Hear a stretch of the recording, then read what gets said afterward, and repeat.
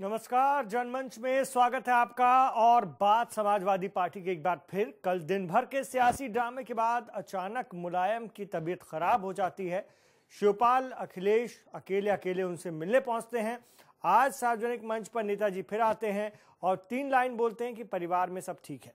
Party में सब ठीक है, हम सब एक हैं, लेकिन बड़ा सवाल है कि नेताजी सब ठीक है तो फिर वो क्या था जो पिछले तीन दिन से हो रहा था? और अगर सब ठीक है तो भाई रामगोपाल जो आपके थिंक टैंक थे, अब उनका कोई महत्व क्यों नहीं है? अमर पर परिवार सवाल कर रहा है, लेकिन आप कह रहे हैं कि उससे बीच में मत घसीटो। डैमेज कंट्रोल की कोशिश जारी है, लेकिन ये जनता है। सब समझ रही है, जान रही है, और सरकार की स्थिति को भी जान रही है। हम वाकई एक हैं, ये मुलायम कह रहे हैं, या फिर हमसे पहले अहम आ चुका है? ये बड़ा सवाल है कि हमसे पहले अहम आ चुका है। सबसे पहले, आइए सुनते हैं, मुलायम सिंह यादव को। परिवार एक है कार्यकर्ता हमारे नेता एक हैं, और जनता के बल पर यहाँ हैं। मुझे अपने प्रदेश की जनता पर, देश की जनता पर पूरा विश्वास है कि जैसे साथ हमेशा प्यार और सहयोग किया है, मुझे पूरा जनता पर विश्वास है कि पूरा सहयोग और हमारा सहयोग करेंगे। अमर सिंह को बीच में बोला मुख्यमंत्री नहीं है अच्छा ये बताए अमर सिंह को नहीं बीच में ला रहे हैं। मुख्यमंत्री क्यों नहीं है? नेताजी। अधिकारी हैं हाँ। और जिनका कोई ज़्यादा आधार भी नहीं है वो बाहर के कुछ लोग नौकरी के लिए लाते हैं। उनको आप कुछ नहीं ज़रूरत है। आज बयान दिया है कि खोटे सिक्के के चक्कर में असली सिक्के को पार्टी से बाहर कर दिया है। आप कैसे देखते राम गोपाल यादव। राम गोपाल जी ने कहा है राम गोपाल जी ने। राम गोपाल जी ने कहा है। एक खोटे सिक्के के लिए का हमारा बहुमत करिए और बहुमत जब हो जाएगा तब पूछिए किसको बना रहे हैं। अभी तो हमें बहुमत करना है। और ये भी तो वो भी मुख्यमंत्री ये भी ये बात कहते हो? मुख्यमंत्री हैं अखिलेश राज मुख्यमंत्री हैं। उनके बारे में कब पूछा है? है कि आप इतने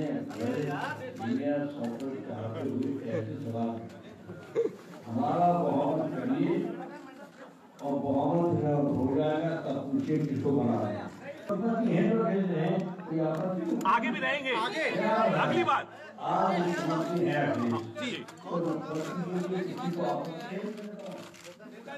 नेताजी सवाल ये है कि अगर सुलह हो गई है तो क्या फॉर्मूला कल जो स्थिति थी? नहीं नहीं कल जो स्थिति थी आज भी वही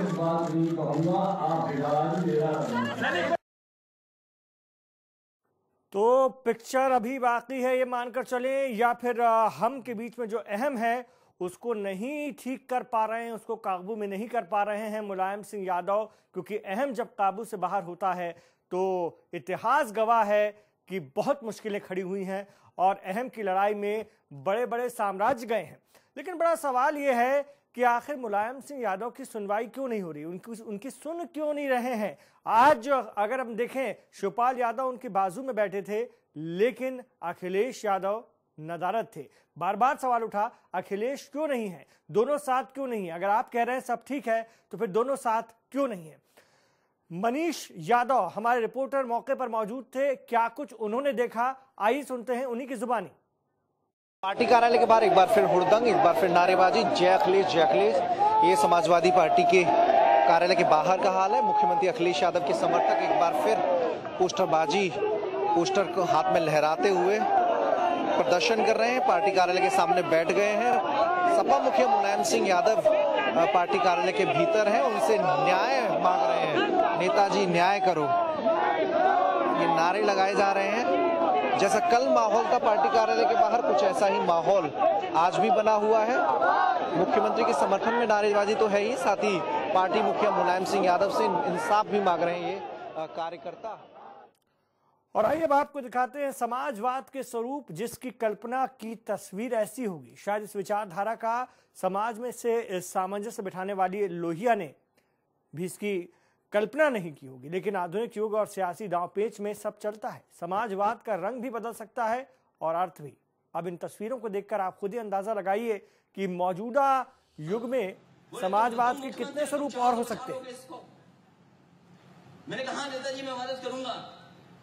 आपने कहा कि मुख्यमंत्री चाहेगा तो ये बच जाएगा। मैंने कहा, प्रजापति, मेरा कहना का मानता है? फिर आपका दोबारा फ़ोन आया मेरे पास कि ये प्रजापति को हटा दो, राज किशोर को हटा दो और कमाल अख्तर को हटा दो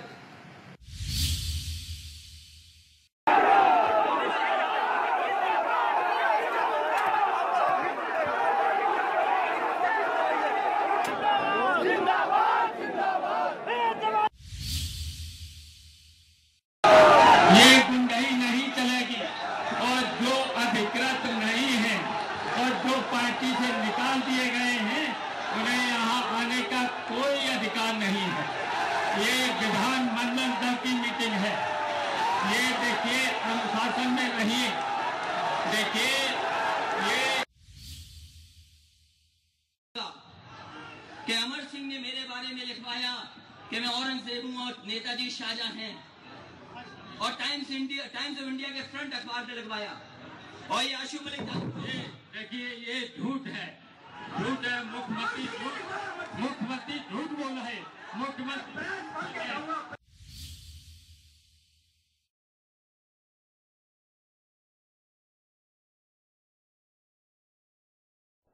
जहाँ एक तरफ़ प्रदेश अध्यक्ष समाजवादी पार्टी के मुख्यमंत्री को झूठा करार देते हैं।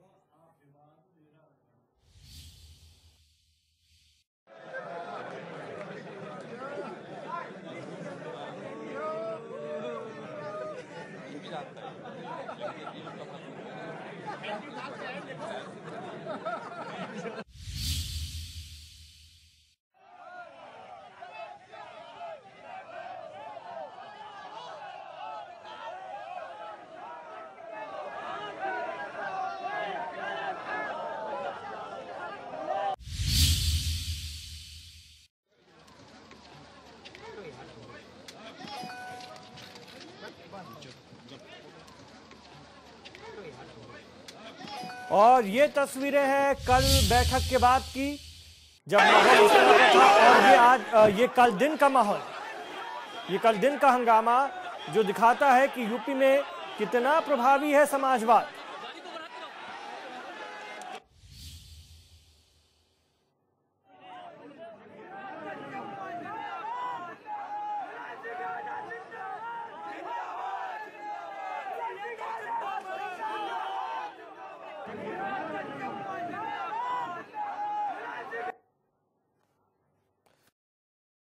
दस तस्वीरें उत्तर प्रदेश में समाजवादी पार्टी की ये स्थिति बन गई, जो अपने आप को समाजवादी पार्टी कहती है और विपक्ष ये आरोप लगाता है कि समाजवादी नहीं, बल्कि सामंतवादी पार्टी है। इसका समाजवाद से, लोहिया के समाजवाद से कम से कम दूर दूर तक कोई लेना देना नहीं है।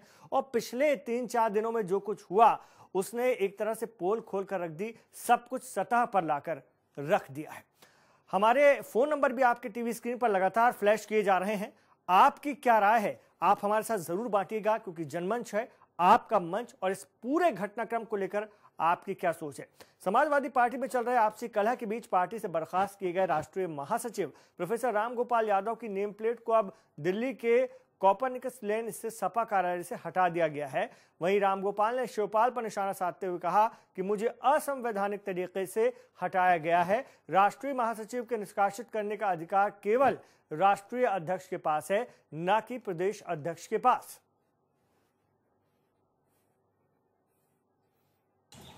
दोहराव के छिपाव की मैं बात करूँगा आप मुलायम सिंह के इतने क्लोज थे इतना ट्रस्ट हर बात आपसे पूछने करते अभी ऐसे क्या हालात बने कि अमर सिंह को जो कि अखिलेश ने निशाना साधा कि अमर सिंह ने सब गड़बड़ किया उसके बाद में आपको बाहर जाना पड़ा। वो लोग अभी भी पार्टी में मुलायम सिंह उनकी तारीफ़ कर रहे हैं। अरे कई बार कई बार ऐसा होता है इकोनॉमिक्स में भी ये बताया गया है कि कई बार जो खोटा सिक्का होता है वो असली सिक्का को बाहर कर देता है मार्केट से।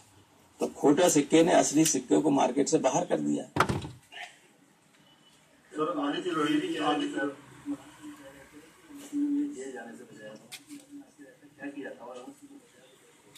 ये उन्हीं से पूछिए क्या सुप्रीम कोर्ट ने अमर सिंह के कहने से नेताजी के पक्ष में फैसला दिया क्या अमर सिंह ने सुप्रीम कोर्ट को मैनेज कर दिया? ये सब झूठ बातें हैं। नेताजी को गुमराह करने वाली आप सब जानते हैं कि सुप्रीम कोर्ट ने ही नेताजी के खिलाफ प्रिलिमिनरी जाँच करने के लिए आदेश दिया। सीबीआई ने उस पर जाँच की। सीबीआई ने केस क्लोज कर दिया और जब ये आदेश दिया था सुप्रीम कोर्ट ने तो नाम थे नेताजी का, अखिलेश का, प्रतीक का डिम्पल का। तो सुप्रीम कोर्ट ने डिम्पल का नाम पहले ही निकाल दिया था, कोई केस नहीं। इनकी प्रिलिमिनरी जाँच कीजिए। पार्टी के पूर्व राष्ट्रीय महासचिव राम गोपाल यादव का एक वक्त में, हालाँकि हम कह सकते हैं कि कुछ घंटे पहले तक दिल्ली के समाजवादी पार्टी कार्यालय पर लगभग एकाधिकार होता था, लेकिन समाजवादी पार्टी से निकाले जाने के बाद जो दिल्ली में पार्टी कार्यालय है, उसकी भी फिजा बदली बदली नज़र आ रही है। आप तस्वीरों में देख सकते हैं कि समाजवादी पार्टी का ये दिल्ली का कार्यालय है, जहाँ पर रामगोपाल यादव की तूती बोलती थी और यहाँ से जो भी फैसले लिए जाते थे पार्टी के, वो रामगोपाल यादव के सहमति के बाद ही लिए जाते थे, लेकिन चूँकि उन्हें पार्टी से निकाल दिया गया है और अब यहाँ पर आप देख रहे हैं कि मुलायम सिंह यादव राष्ट्रीय अध्यक्ष की नेम प्लेट लगी हुई है और संजय सेठ जो कोषाध्यक्ष हैं, उनकी भी नेम प्लेट लगी हुई है। लेकिन दूसरी तरफ़ का नज़ारा आपको दिखाऊँगा कि उन, चूँकि अब पार्टी में नहीं है राम गोपाल यादव और उनकी बाहर निकाले जाने का फैसला भी सुना दिया गया है तो उसके बाद उनकी जो यहाँ पर नेम प्लेट लगी थी और ये जो कमरा है, यहीं से बैठकर समाजवादी पार्टी के राष्ट्रीय कार्यालय से बड़े बड़े फैसले लिए जाते थे और अब उनकी नेम प्लेट तक हटा दी गई है और जिस तरह से रामगोपाल यादव समाजवादी पार्टी के संस्थापक सदस्यों में से एक रहे हैं और जब से वो निकाले गए हैं और दिल्ली आवास पर संगठन के स्तर से लेकर जमीनी स्तर के और नरेश अग्रवाल जैसे बड़े नेता भी उनसे आ, मिलने वहाँ पर पहुँच रहे हैं। तो निश्चित तौर पर आ, जो आज रामगोपाल यादव ने अपनी जो समाजवादी पार्टी के लिए काफ़ी कुछ दिया था आज उन्हें ये दिन देखना पड़ रहा है कि जिस पार्टी कार्यालय से उनके नाम पर बड़े बड़े फैसले होते थे आज उसी पार्टी कार्यालय में नेम प्लेट तक नहीं है और जिस तरह से तमाम लोगों की भीड़ और उनके समर्थकों की भीड़, रामगोपाल यादव के दिल्ली आवास पर उमड़ रही है, उससे इतना ज़रूर साफ़ हो गया है कि अगर चुनाव से ठीक पहले वापसी नहीं होती है तो निश्चित तौर पर राम गोपाल के जो समर्थक हैं या जो राम गोपाल के चाहने वाले वेल विसर्स लोग हैं, वो राम गोपाल के साथ खड़े हुए नज़र आएँगे और ऐसे में एक धड़ा अलग होने से समाजवादी पार्टी को चुनाव से पहले बड़ा नुकसान उठाना पड़ सकता है। कैमरामैन उमेश कुमार के साथ अनुज शुक्ला। इंडिया वॉइस दिल्ली तो प्रोफेसर राम गोपाल यादव, अमर प्रेम का शिकार हो गए हैं और वो तो आज सिर्फ़ यही कह रहे होंगे कि हम थे जिनके सहारे, वो हुए ना हमारे और डूबी जब दिल की नैया तो सामने थे किनारे। इन हालात में रामगोपाल यादव का साथ छूटा है मुलायम सिंह से और जैसा कि अनुज भी बता रहे हैं कि एक बड़ा नुकसान हो सकता है आगे आने वाले चुनाव में। प्रोफेसर रामगोपाल यादव भी लगातार हमले कर रहे हैं और अपनी बात कह रहे हैं और बहुत सारे सवाल भी उठा रहे हैं। आपकी क्या राय है? क्या वाकई आज मुलायम सिंह के ज़रिए कहा गया लफ्ज कि हम सब एक हैं, एक जुमला है? अब हम नहीं, सिर्फ़ अहम आ चुका है और ये अहम पार्टी को डुबोने की स्थिति में है। और जब समाजवादी सुप्रीमो मुलायम सिंह यादव ये बार बार कह रहे हैं कि सब कुछ ठीक है तो फिर सब कुछ ठीक दिखता क्यों नहीं है? होता क्यों नहीं है? आपकी राय यहाँ बहुत कीमती है। आप अपनी राय हमें ज़रूर दीजिए। हमारे फ़ोन नंबर आपके टीवी स्क्रीन पर लगातार फ्लैश किए जा रहे हैं। एक छोटा सा ब्रेक ले रहे हैं। अभी लौटते हैं।